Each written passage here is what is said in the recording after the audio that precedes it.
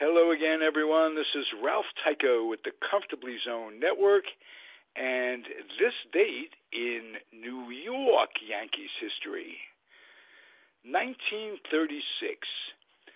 Joe DiMaggio becomes the first rookie to appear in an All Star game when he starts in right field and bats third for the junior circuit in the team's 4 3 loss to the National League at Happy trails.